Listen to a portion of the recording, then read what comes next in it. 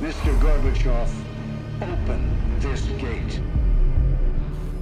An entire class of U.S. Soviet nuclear missiles is eliminated.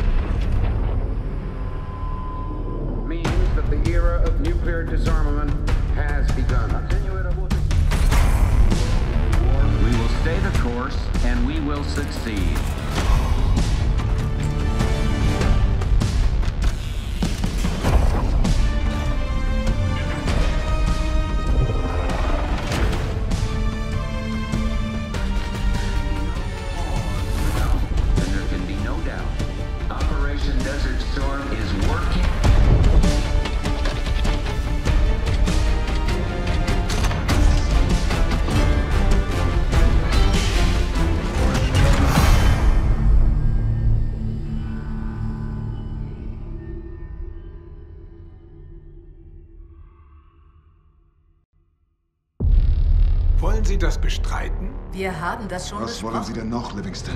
Es reicht! Sie hatten einen direkten Befehl, Mr. Marshall, als klar war, dass Ihr Einsatz kompromittiert war. Bei allem Respekt, Sir. Sie waren nicht da. Und die Gruppe, die Sie kompromittierte, das Pantheon? War das der Name? So hat Aloy sie genannt. Wann erfahren wir, was hier wirklich los ist? Ich stelle hier die Fragen, Mr. Woods. Sir, wenn Sie den Bericht lesen, werden Das Sie... habe ich getan, Miss Harrow. So manches darin ist recht schwer zu glauben. Also gehen wir es nochmal durch. Alles. Und diesmal die Version von Marshall. Von Anfang an.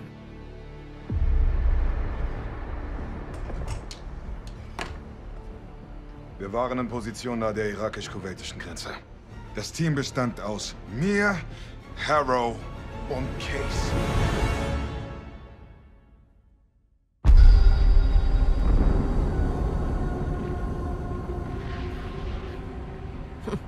Alawi ist früh dran. Wen er auch trifft, wird nicht lange warten. Nein, nicht bei einem Schmuggler. Ich wette, Alawi legt einiges hin für die Flucht aus dem Nahen Osten. Nicht, dass das wichtig wäre. Er kommt mit uns. Outlaw 42, wir sehen jetzt den Konvoi. Markieren das Ziel. Over. Roger Boden, Ziel bestätigt, warten auf euer Zeichen. Over. Und los. Outlaw, ihr habt Angriffsfreigabe. Ende. Holen wir ihn uns. Verstanden. Angriff und Ende. Das wird ein hübscher Start.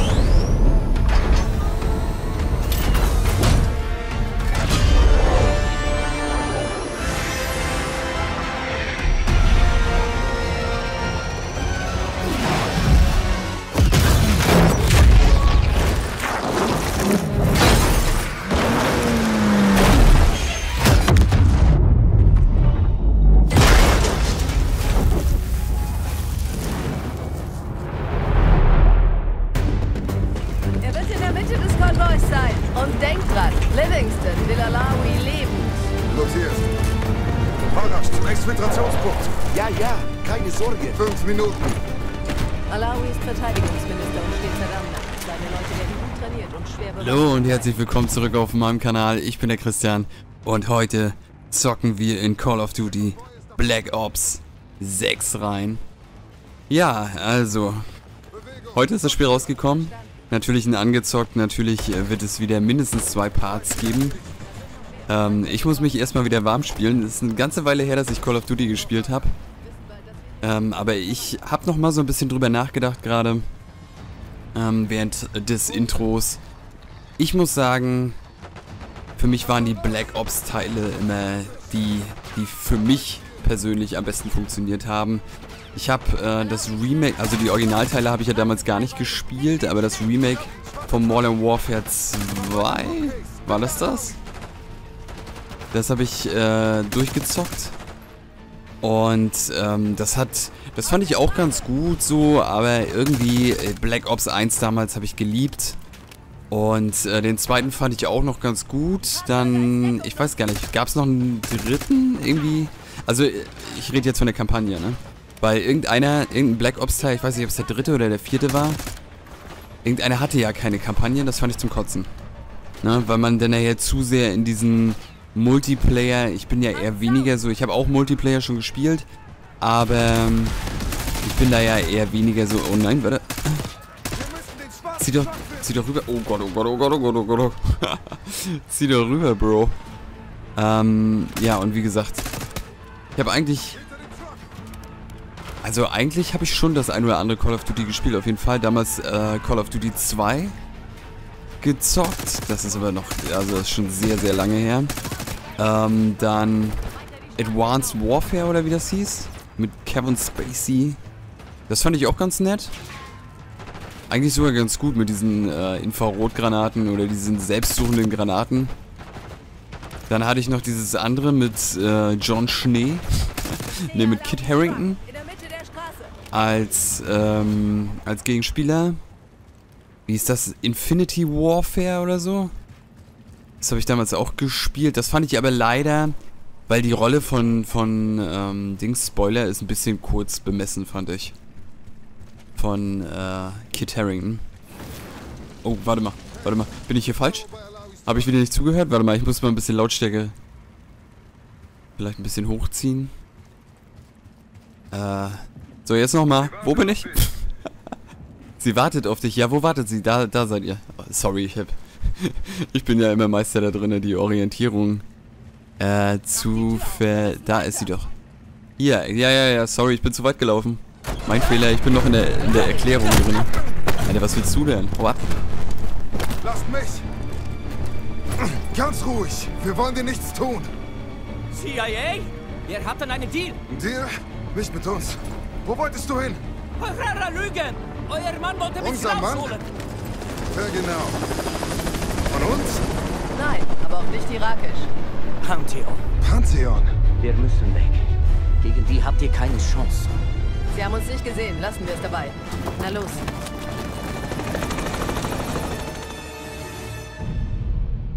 Also verstehe ich das richtig, Mr. Marshall? Diese Gruppe aus ihrer Aussage, das Pantheon, war eine multinationale, schwer bewaffnete paramilitärische Gruppe, die aus dem Nichts auftauchte. Sie sollten auf Verstärkung warten, aber stattdessen spielten sie lieber den Cowboy. Wir mussten schnell handeln. Unser Fenster Miss schloss Harrow, sich. Hat er oder hat er nicht Ihren Befehl missachtet? Ja, Sir. Aber der beschleunigte Zeitplan machte Das es... reicht schon. Ich erwarte gar nicht mehr von Ihnen. Aber von Ihnen.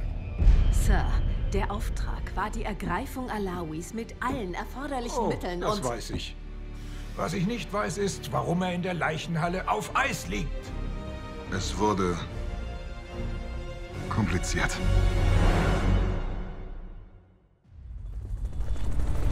Wer sind diese Leute? Pantheon besteht aus Ex-Agenten aus Europa und Amerika. Ich weiß nicht, wer sie anführt. Wir kommen hier nicht weg. Rufen wir Verstärkungen und warten. Warten? Auf gar keinen Fall. Farage, komm. Sind auf dem Weg zu dir. Nein, wir sind kompromittiert. Alawi wird uns nur aufhalten. Alawi, kommst du mit uns oder dem Pantheon? Ich komme mit euch. Verdammt, Troy. Kluger Mann. Case, dünnen wir sie etwas aus. Okay, rüste dich mit äh, von dir äh, getragenen Objekten aus und tausche sie. Drücke und halte nach oben, um das Ausrüstungsrad zu öffnen und primär Taktik oder Unterstützungsausrüstung in den vorgesehenen Plätzen äh, auszurüsten. Okay. Ja, das ist mir ja persönlich ähm, ein bisschen, weiß ich nicht, das ist jetzt nicht so meins, muss ich sagen. Warte mal, was war das hier? Blendgranaten, die brauchen wir auf jeden Fall. Aber warte mal. R1 steht doch da. Hat er das jetzt genommen? Oder was genau willst du? Ach so, hier, R2 zum Ausrüsten. Okay, ich sehe nicht ganz durch, aber es wird schon irgendwie, denke ich mal, klappen oder nicht? Nutze, um auszuwählen. So. Ah, er will, dass ich so ein Ding... Fernlenker, äh, ja, ja, alles klar. Meine Güte. Ähm, ja, eins. Äh. Ich bin vorher schon rechts rumgefahren. Die Steuerung lässt etwas zu wünschen über. Übrig. Okay. Also der Standard erstmal... Oh, sorry, sorry, falscher Mann. erstmal äh, wieder genau exakt das so machen, wie sie es gerne hätten. Typisch Tutorial. Nein, ich war ja vorhin noch gar nicht so richtig fertig mit dem Quasseln. Also, ich habe die Black Ops Teile theoretisch alle gespielt. Wie gesagt, irgendeiner, ich weiß nicht, ob es der Dreier oder der Vierer war, hatte keine Story. Ähm, aber der erste und der zweite ging auch noch. Aber 1 und 2 waren so von den Black Ops Teilen, fand ich sie, glaube ich, am besten. Während dann 3 und 5 oder 4 und 5, glaube ich, eher nur noch so... Obwohl Cold War war doch auch noch ganz gut, oder? War das nicht auch ein Black Ops Teil? Ja, und äh, wie gesagt, Modern Warfare, das eine Remake, da habe ich gespielt. Ich glaube, das war der zweite. Kann auch sein, dass ich beide Remakes gespielt habe. Äh, aber das letztes Jahr ähm, hätte ich auch gerne gespielt, aber ich kriege halt einfach die Krise, wenn man, wenn man anfängt rum... Äh, nein, noch eine Granate. Wenn man anfängt rumzudallern so und äh, es war halt Verarschung äh, pur, wo bei diesem einen Black Ops, wo, wo es denn keine Kampagne gab. Ähm, und letztes Jahr, also kann natürlich sein, berichtigt mich gerne, aber letztes Jahr war Modern Warfare. Ähm, und die hatten, Alter, zur Hölle? die hatten eine Kampagne. Ähm, da hat man gemerkt, okay, Intro war ganz okay, aber äh, dann nachher hast du einfach gemerkt, okay, ist Bullshit. Das sind einfach äh, alles Multiplayer-Maps gewesen. Und die wurden dann so ein bisschen als äh, Dings getarnt und da, da kriege ich ja die Krise, wenn man, wenn man hier rumtrollen will. So, äh, wie gesagt, Multiplayer-Maps sind halt nicht, äh... Nehmen wir das mit? Nehmen wir das nicht mit? Sind in meinen Augen halt nicht Kampagne. So, weißt Und deshalb das mit diesem Ausrüsten muss ich mir mal angucken. Also ich werde das ja sowieso durchspielen. Ich habe die äh, meisten Call of Duty Spiele äh, zumindest privat auf jeden Fall durchgespielt. Die ich so gezockt habe, natürlich, ne? Aus, mit Ausnahme das Ding letztes Jahr. Und Ghosts habe ich auch immer noch nicht gespielt.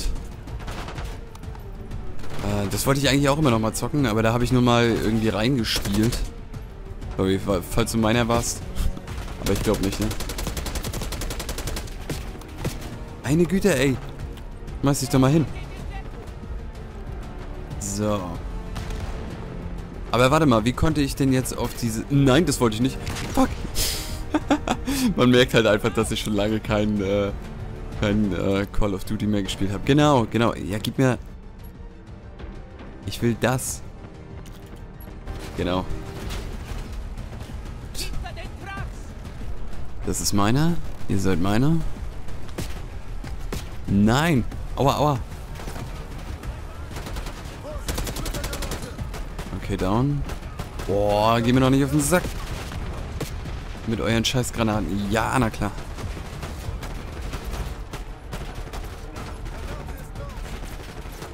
So, okay. Ja, wie gesagt, ähm, diese Call of Duty Dinger funktionieren für... Nein! Für mich eigentlich immer ganz gut. Ähm, ich mag diese Mischung aus Cutscenes und wenn du dann wieder in der Mission drinne bist.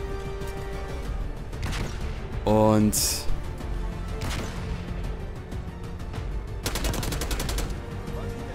Äh, man muss natürlich auch sagen, man hat es eben gesehen, die sehen halt auch immer besser aus, ne? Also das kriegen die schon, schon richtig hübsch mittlerweile hin. Also wenn du siehst, wie die sich da unterhalten und so diese äh, Person, das sieht schon echt nice aus.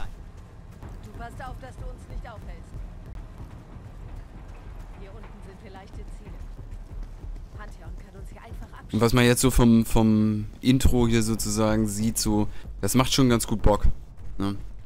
Wie gesagt, die, die Black Ops Teile, die haben für mich eigentlich immer ganz gut hingehauen. Außer das Ding, wo sie dann halt gesagt haben, ey, äh, Kampagne? Nö.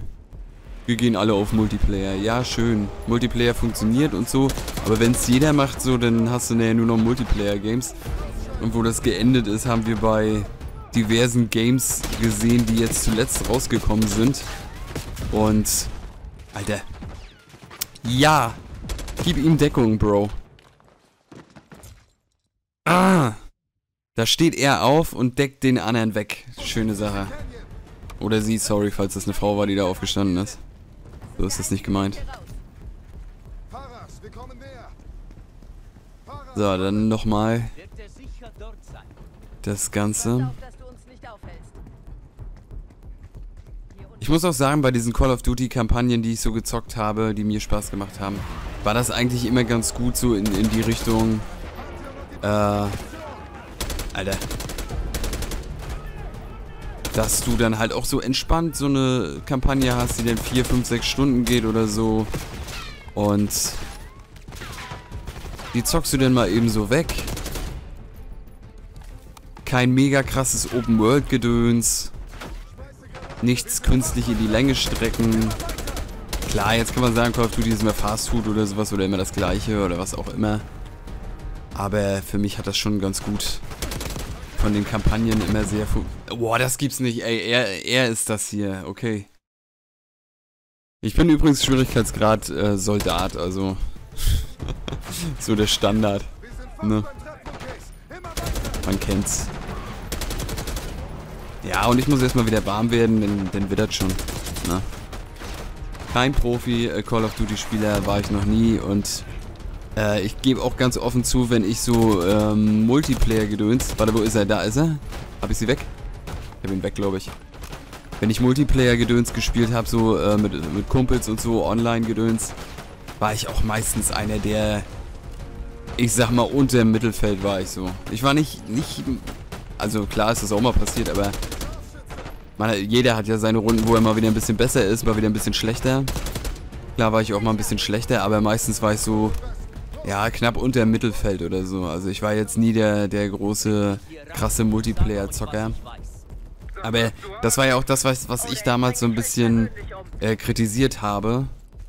Das ist so vor zehn Jahren oder so gab es gefühlt so eine, so eine Welle, wo auf einmal jeder nur noch Call of Duty oder FIFA gezockt hat. Und das war mir dann auch immer ein bisschen zu wenig so. Weißt ich war immer mehr so der, der unterwegs war bei Uncharted, Tomb Raider, äh, Last of Us, ähm, Batman Arkham Asylum und so.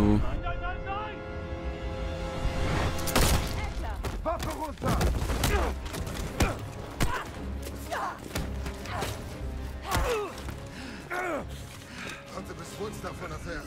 Verdammt, Russell Adler, CIA-Verräter. Waren es zehn Monate auf der Flucht? Marshall, oder? Woods neues Projekt. Du kannst loslassen, Junge. Ich bin hier fertig.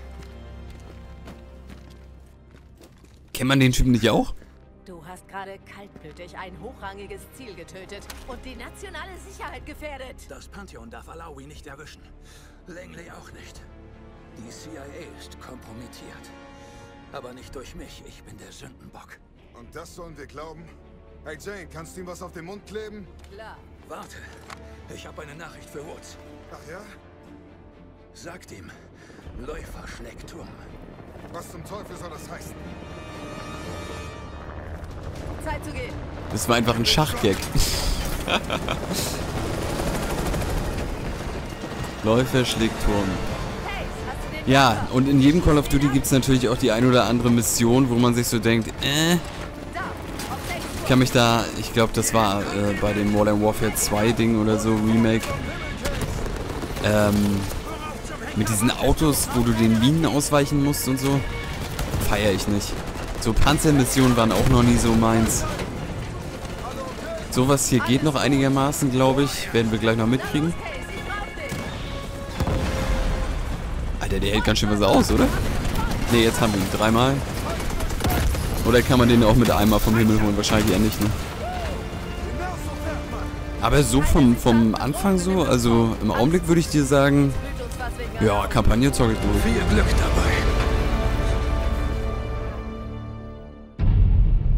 Sonst noch etwas? Sir, die Regeln wurden verletzt und Alawi ist tot. Doch die Festnahme Russell Adlers ist ein kategorischer Glücksfall. Ja, Miss Harrow. Abtrünnige Agenten zu ergreifen ist sicher ein Sieg. Russell Adler. Der Mann, der uns in Panama verraten hat. Der Mann, der verantwortlich ist für Ihren Zustand, Mr. Woods. Warum also wollte er Ihnen in Kuwait etwas sagen? Läufer schlägt Turm. Was könnte das bedeuten?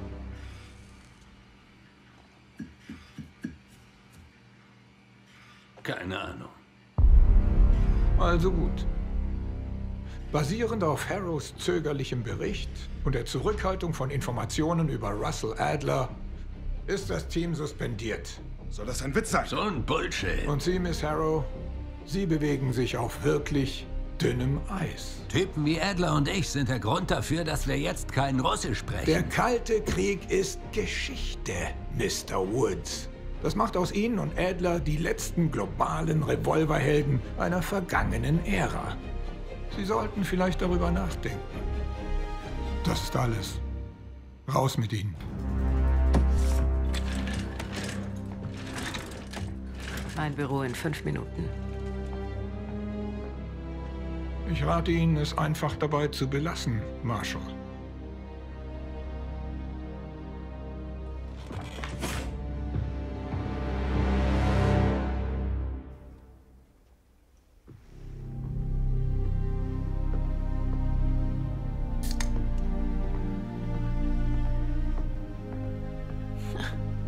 Du deine Arbeit? Warum hast du das behalten? Nicht alle Erinnerungen müssen Narben sein. Ähm, warum sind wir hier, Harrow? Weil ihr etwas wisst.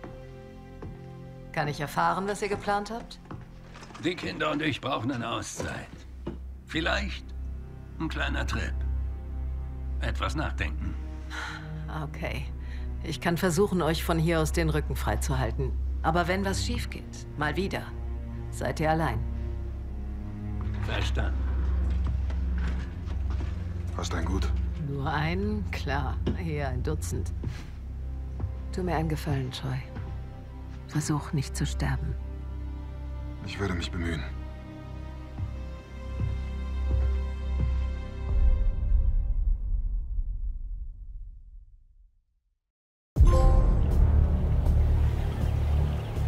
Drei Tage später. Unerwarteter Spielzug.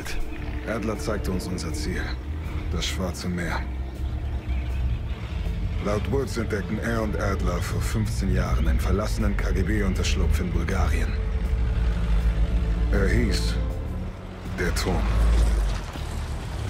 Letztes Jahr, bevor Adler verschwand, ging er Gerüchten nach über eine paramilitärische Gruppe.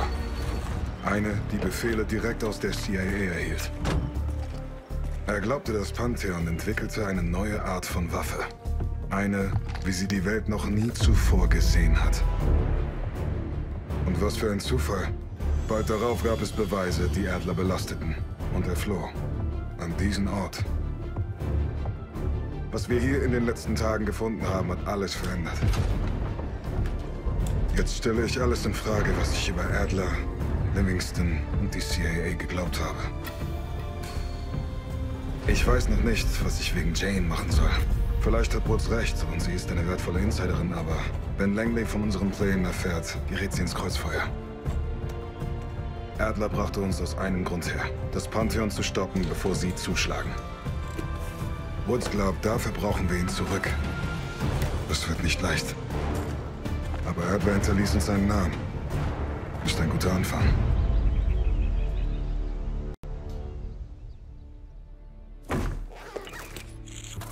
Jede Sekunde zählt. Du kennst den Plan. Shevati Dumas, die Person, die du triffst. Keine Ahnung, warum Adler mit ihr in Kontakt stand, aber Spur ist Spur. Wir können ihr nicht vertrauen. Ich bezweifle, Adler hat es. Verdammt. Sie könnte Teil dieses Pantheon-Dings sein. Wem können wir trauen? Dumas will Case in Avalon treffen, also machen wir das. Na, na, na. Hier spielt wohl jemand Ach so, ich kann mich schon bewegen. Finden wir erst Adler, Aber hier Watson, ne? Der Name kommt mir bekannt vor. Das, der hat doch bestimmt in den vorherigen Teilen auch mitgespielt, ne? Ist das der, äh, ich habe in meinem Ich hasse den Kerl, aber wir... äh, Kanaltrailer auch irgendwie Black Ops 1 Manchmal oder muss man ihm jetzt auch einen 2? Apfel Ich weiß es nicht mehr genau. Da habe ich auf jeden Fall was reingeschnibbelt von, äh, ja, wie gesagt, Black Ops 1 oder 2. Und da müsste Woods, glaube ich, im Bild sein, ne? Kann sein, dass der das ist. also sag Bescheid. Weil die Charaktere tauchen ja immer mal wieder auf. Habe ein Und, paar Ideen, wie wir äh, dieses Drecksloch aufpolieren können, Case. Reden wir, wenn du Zeit hast. Ja, insofern äh, kann das schon hinkommen. Dass der das ist. So, ich hab Zeit, los. In Ordnung. Was für Ersparnisse hast du? Nichts. Ich lebe von einem Tag auf den anderen. Morgen ist nie garantiert. Okay? Ich habe etwa 3 Millionen in Aktien und in Immobilien angelegt. ähm, ja, wissen wir irgendwas? Wir wissen doch gar nichts, ne? Ja, sorry. Wir leben, also normalerweise, okay, ich habe real-life-technisch jetzt auch nicht wirklich was mit Aktien und Immobilien zu tun. Äh, können wir nicht so ein Zwischending machen? Von einem Tag auf den anderen lebe ich jetzt auch Guter nicht, also Junge. das ist auch ein bisschen wenig. Carpe fucking diem. Wenn wir das wirklich tun wollen, müssen wir finanziell kreativ sein. Ja, sowas finde ich immer Quatsch, wenn du sowieso nur den einen auswählen kannst. Äh, weil ich habe ja jetzt keine Wahl. Was hast du im Sinn? Ja, Für Adler Hm. mag das ausgereicht haben. Aber für ein Team? Generalüberholung? Waffenkammer, Trainingsplatz, Ausrüstungsbank. Und was wir sonst noch alles gebrauchen könnten. Billig wird es sicher nicht werden. Wie viel Geld haben wir? Und wie habt ihr beide diesen Ort überhaupt gefunden? Ich muss los. ja, sowas kennt man ja aus, aus irgendwelchen Rollenspielen auch immer so, ne? Entweder du quatscht irgendwas mit denen oder ich muss los. Hau rein. Äh, wie viel Geld haben Marshall wir? hat in einem Zimmer oben ein paar Tausender gefunden. Ansonsten haben wir leider nichts. Und Hände weg von unseren Bankkonten. Die werden überwacht. Such auf Missionen nach Geld, das herumliegt. Du wirst es wie Robin Hood machen. Von den Reichen stehlen und den Armen geben. So bin ich. Wir sind einer alten KGB-Spur gefolgt und eine einzige Aufnahme führte uns her. Schien verlassen. Als wir unseren Maulwurf beim KGB danach fragten, wusste er nichts. Belikow dachte, es ist vielleicht eine Art Splittergruppe, ohne Segen des Zentralkomitees. Was es auch war. Es war wohl kein Roter mehr hier seit 1968. Können wir sicher sein, dass Adler allein hier war? Er glaube nicht, dass er andere involvieren wollte. Hat wohl an einer Vertrauensliste gearbeitet. Soviel ich weiß, hat er niemanden kontaktiert. Deshalb hat Adler wohl mit Dumas geredet. An Langley vorbei. Das werden wir auch tun. Im Moment. Ich muss Am los. Brett hinter mir verfolgen wir unsere Ausgaben. Sieh es dir an.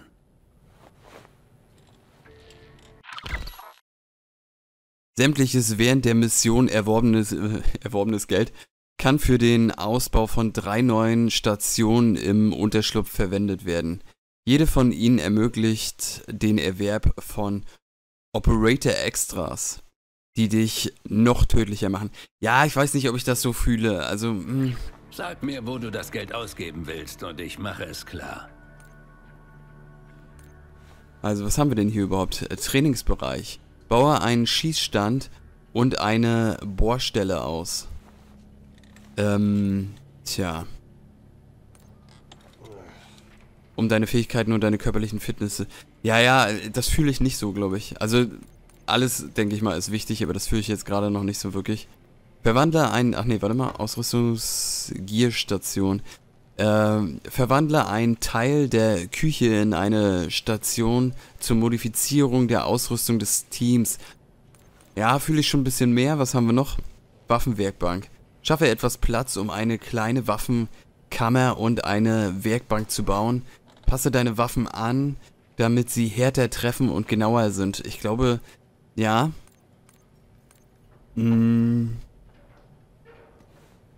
Tja, eins von den beiden, denke ich mal, äh, würde ich nehmen. Modifizierung der Ausrüstung. Ich, ich bleib mal bei, den, bei der Waffennummer hier, glaube ich.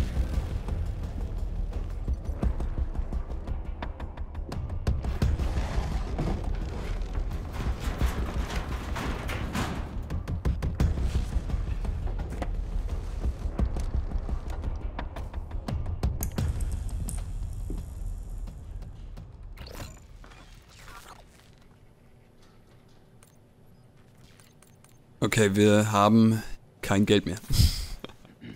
ähm, ja, wie gesagt, ich weiß nicht, ob ich sowas fühle. Ich verstehe schon, warum man sowas macht im Endeffekt. Ähm, oder warum man sowas mit einbaut. Aber, ja, sowas ist sowas, weiß ich nicht. Also sowas fühle ich in Spielen immer nicht so. Wenn du so, ein, so eine Homebase hast, wo du dann nochmal hier so ein bisschen schnicki-schnacki machen kannst und so. Macht ja vielleicht nachher innerhalb des Games mehr Sinn oder so, aber im Augenblick oder so generell fühle ich das in Spielen nicht so. Na gut, aber es ist ein ganz guter Punkt, denke ich mal, um hier vielleicht kurz mal einen Cut zu setzen und die Location nochmal so ein bisschen zu genießen. Ich sage ja, optisch hat das schon irgendwas. Ähm, fühle ich schon mehr. ähm, ja. Aber ansonsten, es wird mindestens einen weiteren Part dann für Mitglieder geben. Vielleicht droppe ja auch morgen noch einen, äh, ja, Part, der für alle zugänglich ist. Kommt wie immer darauf an, ähm, wie das äh, Game bei euch so ankommt. Privat denke ich mal, ich bin mir nicht sicher, ob ich so äh, storytechnisch hundertprozentig durchspielen werde, aber privat werde ich da auf jeden Fall mal wieder reingehen. Äh, mal wieder reingehen. Äh, das mache ich, wie gesagt, bei den meisten Call of Duty Spielen, aber beim letzten, da hat es mich halt einfach rausgeworfen, weil für mich überzeugt mich gerne äh, von, vom Gegenteil. Aber für mich wirkte das einfach nur so ähm, kampagnenmäßig so, äh, wir hauen jetzt hier ein paar Multiplayer-Maps rein und dann sehen wir zu. Äh, und das fühle ich gar nicht. So, Multiplayer-Maps machen natürlich im Multiplayer-System Sinn, aber im Story-Modus will ich so ein Bullshit nicht sehen. Äh, weil das ist einfach nur, äh, wir, wir versuchen hier Zeit zu sparen oder äh, auf möglichst einfachem Wege ähm, hier irgendwie so zu tun, als ob wir eine ordentliche Kampagne hätten, ne? Und ich fühle auch äh, dieses generelle Call of Duty äh, System aktuell irgendwie nicht. Also, dass du sozusagen eine Datei hast und die dann immer weiter updatest. Ich weiß es nicht. Also irgendwie äh, finde ich das ein bisschen strange.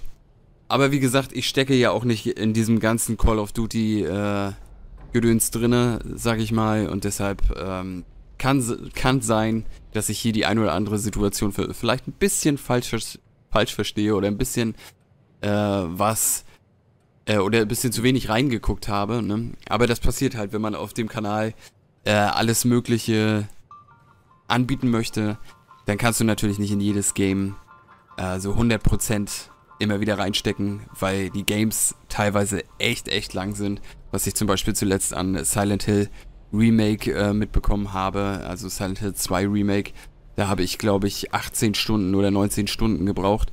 Ähm, und es gibt ja bei weitem Games, die noch viel größer sind, ne? Und dann ähm, kostet das natürlich alles sehr viel Zeit, ne?